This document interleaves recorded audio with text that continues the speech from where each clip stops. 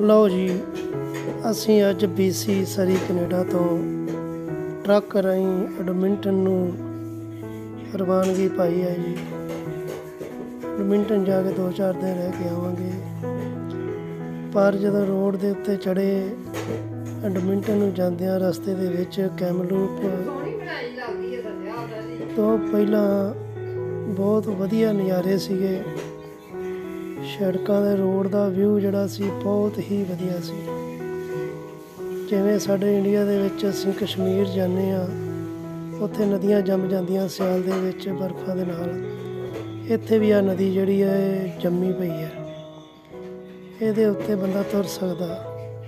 ਪਹਾੜ ਬਰਫ਼ਾਂ ਨਾਲ ਅਜੇ ਲੱਦੇ ਪਏ ਨੇ। ਲਾਸਟ ਅਪ੍ਰੈਲ ਆਇਆ ਪਿਆ ਹੈ।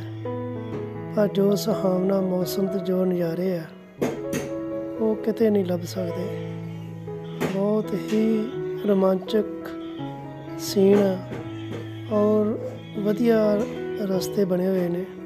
ਬਹੁਤ ਹੀ ਵਧੀਆ। ਦੇਖਣ ਹੀ ਵਾਲਾ। ਜਹਾਜ਼ ਰਾਹੀਂ ਇੱਕ ਘੰਟੇ 'ਚ ਆਪਾਂ ਚਲੇ ਜਾਂਦੇ ਆ ਪਰ ਉਹ ਨਜ਼ਾਰਾ ਨਹੀਂ ਦੇਖ ਸਕਦੇ ਜਿਹੜਾ ਆਪਾਂ ਇਹ ਰੋਡ ਨਜ਼ਾਰਾ ਲੈ ਸਕਦੇ ਕਿਆ ਕੁਦਰਤ ਦੇ ਰੰਗ ਆ। ਕੁਦਰਤ ਨੇ ਕਿਹੋ ਜਿਹੀਆਂ ਚੀਜ਼ਾਂ ਬਣਾਈਆਂ। ਇੱਕ ਬੰਨੇ ਉੱਚੇ ਉੱਚੇ ਪਹਾੜ ਆ।